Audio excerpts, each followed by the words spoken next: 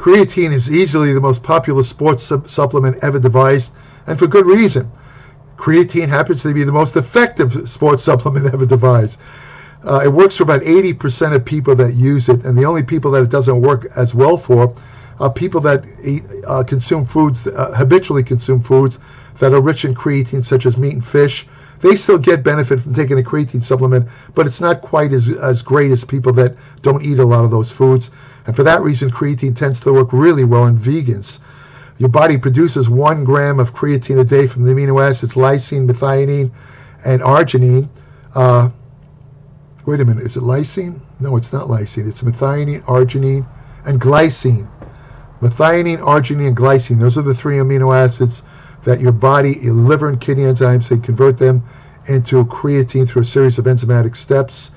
And uh, again, your body produces one gram a day. Studies years ago in the early 90s showed that uh, taking creatine uh, actually increases athletic performance, increases uh, the ability to train more intensely. Uh, they started out with a creatine load, 30 gram, 25 to 30 grams a day, which is five grams uh, taken six times a day. Uh, I'm not going to get into it. I, I, talk about all this in my Applied Metabolics newsletter. But today I, I want to talk about uh, a study I came across which attracted me uh, because, you know, a lot of people don't take creatine because they claim they get side effects. The common side effects attributed to cre- creatine include gastrointestinal problems like uh, bloating, uh, uh, who know, bloating, that kind of stuff. Other people say they get muscle cramps. Some people they say they get headaches. Uh, you know, these side effects have been studied very carefully over the years in various by various researchers, and what they found that there's always a reason to explain creatine side effects. In some cases, it has to do with not consuming enough water when you when you have to consume a little extra uh, water when you uh, take a, cre- a, creatine supplement, especially when you take more than five grams a day, because creatine uh, produces what they call an osmotic effect. It draws water into the gut and also into cells, which is a good thing, because when your cells are, are hydrated, it's called cell swelling. That means it puts your cells in, in a kind of anabolic state. Cells that are dehydrated are catabolic People that are sick have dehydrated cells. People that are healthy have hydrated cells. Now, how does all this uh, apply? Uh, oh, let me finish the, the, uh, the thought. The point being that these researchers have looked at these side effects and they found most of them are not true. Uh, creatine is literally side effect free, but every so often you get these studies, usually case studies, that means involving one or two people, maybe three people at the most, where they claim that creatine caused some serious effects. Now, the study that I'm going to talk about here, I came across, the title of it is A Case of Pulmonary Thromboembolism Possibly Associated with the Use of Creatine Supplements. Notice the word possibly. There's a good reason they use the word possibly because you, to, to, to make a definitive statement that creatine causes pulmonary embolisms, you have to show a direct cause and effect. In other words, you also have to show it occurs in not one or two people, but hundreds.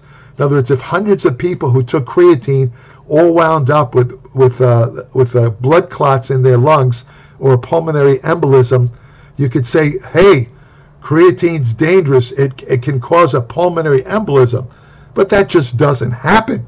God knows that thousands and thousands of people since the early 90s have taken creatine, including myself, and none of them have gotten pulmonary embolisms or any other kind of clotting problem. But in this study, this was published in a journal. What's the name of it? Uh, where is it? Jeez, it doesn't even have a name. Oh, it's called uh, Respirology Case Reports. In other words, this is a journal that specializes in case studies. And this case study involved a uh, this this was a 24 year old non-smoking man who presented to the emergency department with sudden onset dyspnea means trouble breathing. One of the signs of a pulmonary embolism is you have trouble breathing because remember the clot is obstructing the lungs. And also you have chest discomfort. When you have a clot in your lung, you're going to have chest discomfort too. Uh, when they did angiography, they did some tests on him. They, they showed he had a clot in both his left and right uh, pulmonary artery branches. Uh, he, the, he had no family history of venous thromboembolism. In other words, nobody in his family had ever had any kind of pulmonary embolism or clotting problem. Uh, there was nothing like that. So the question is, uh, the rest of his tests seemed pretty normal, uh, except uh, he, he was uh, he exercised in the gym for for the, he's been exercising for at least five years, and he his workouts last three hours a day. And right before he reported to the emergency room, he decided that he had heard that creatine helps build muscle, so he decided to increase his creatine dose. Now, the normal dose of creatine is three to five grams a day, uh, but when you're on a creatine load, they call it, in other words, to initially load the muscles, uh, some people will go on this creatine load where they ingest five grams, five to six times a day, so they're getting 25 to 30 grams a day. Now, that only is done for five to six days at most. After that, you're supposed to go on a maintenance dose of, again, three to five grams a day. This guy took it upon himself to take 20 grams a day for, for quite a while. And he was also working out uh, very hard in the gym. Apparently, the gym uh, was uh, very warm. Uh, he didn't drink enough fluid, and uh, apparently he he got dehydrated. Now, so so what these researchers are saying is that the reason that the, the reason that they're connecting the creatine to his pulmonary embolism is because his excessive sweating in the gym caused him to become dehydrated. The dehydration uh, caused uh, his blood, blood viscosity. In other words, his blood got thicker. And when your blood gets thicker, there's an increased chance of a clot formation.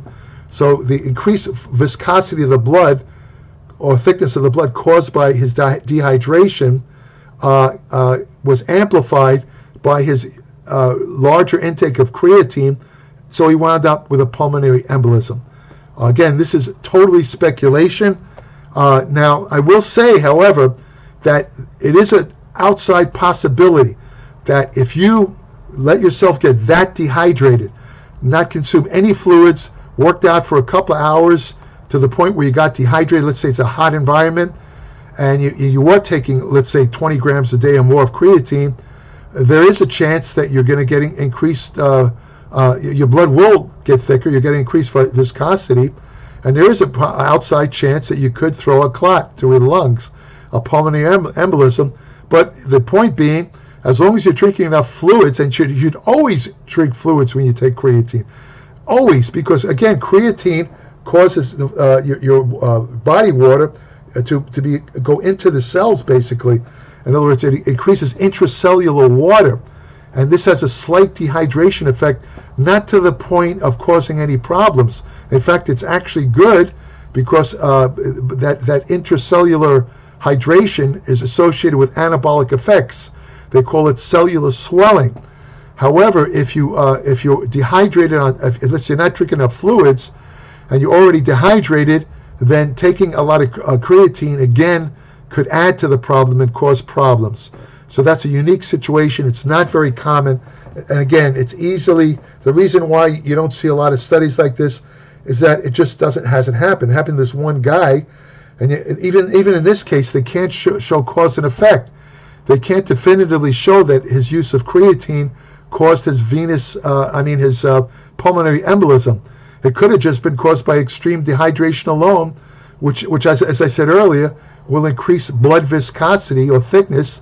And anytime you have increased blood viscosity to a certain point, there's always a danger of increased clotting. Uh, you can get a clot to the brain, it can cause a stroke, or you can get a clot to the lungs, and cause a pulmonary embolism. As a matter of fact, one of the problems with testosterone replacement therapy, a lot of men over 40, when they initially start testosterone therapy, if they're taking a, a testosterone uh, injection that's greater than 150 milligrams a week, 50% of them tend to get what they call elevated hematocrit. Hematocrit is a measure of blood viscosity, how thick your blood is. The problem with that again is an elevated hematocrit up to past a certain point increases your risk of having a stroke. Uh, the usual treatment for an elevated hematocrit is to uh, is to uh, is to, uh, is to donate blood.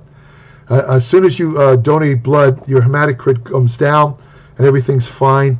However, uh, recent studies show, which is very interesting, uh, it, it, after about six months of continuous uh, testosterone therapy, even at 150 milligrams or more, the danger of elevated hematocrit goes down to nothing. In other words, it doesn't. Uh, your, your, body somehow kind of conditions itself or gets used to it, and uh, I'm sure certain uh, things are downgraded, such as something called hepcidin, which is uh, which has to do with uh, absorption of iron. when you take when you take testosterone, it increases hepcidin, so you get increased iron uptake, and the iron uptake in, in turn stimulates the production of erythrocytes, red blood cells, which in turn cause can, can uh, increase your hematocrit. Uh, and um, my theory is that uh, after a couple of months of testosterone replacement therapy, your body senses the extra testosterone and it downgrades the hepcidin, so you don't absorb uh, greater amounts of iron, and that leads to a normal hematocrit level. That's only my theory, but they have shown that in a couple of more recent studies. So that's about all I could say about this. Is that uh, it's an interesting thing. The uh, lesson, the take-home lesson here is very simple. When you're taking a creatine supplement, ensure that you drink fluids. Never take creatine when you're trying when you're purposely dehydrating yourself. Uh, if, for, for, some reason you're restricting water, uh, maybe you're training for a contest and you think that restricting water will make you more muscularly defined which, by the way, it won't. The more water you restrict, the more water your body holds because it always wants to maintain a certain amount of water balance. So if you're not drinking enough fluids, it'll cause you to retain stuff like sodium and other things that will cause you to retain any fluid, even fluid from food, will be retained in the body.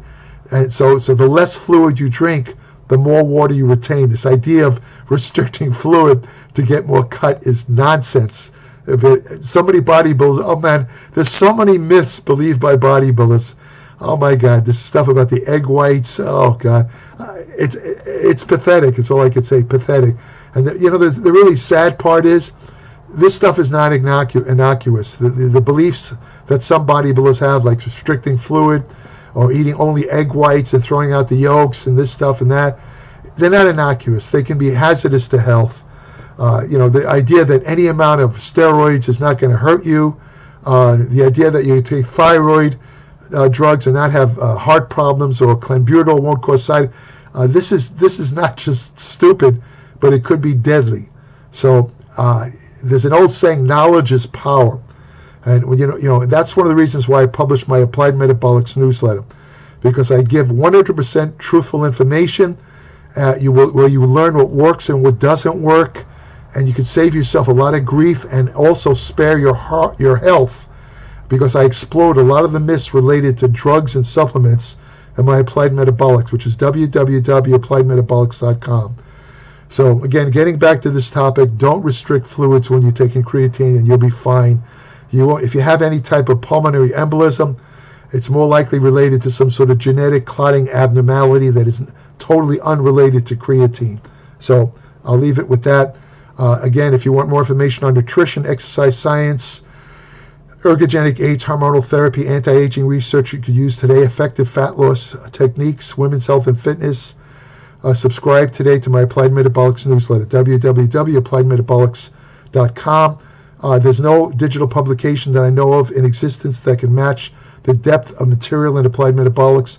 Ask anyone who subscribes and they will confirm that. I put a lot of work into it. It's 30 to 50 pages every month. No ads. I'm not trying to sell you anything.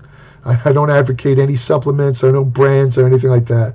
It's just pure information. It's something I wish I had when I was involved in bodybuilding. It could have saved me a lot of grief because I do impart the knowledge I have of six decades of being involved in bodybuilding is, is, is in the Applied Metabolics newsletter. It could save you a lot of grief and a lot of uh, problems that could crop up in your training and your diet. Again, www.appliedmetabolics.com.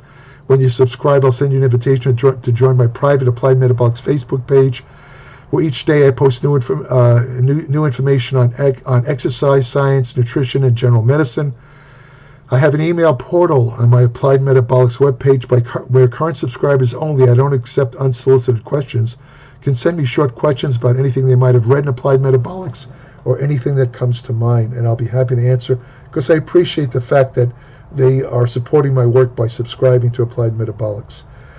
And uh, what else can I say? Uh, that's about it. If you want to have the best friend you'll ever have, go to your local shelter, uh, adopt a dog,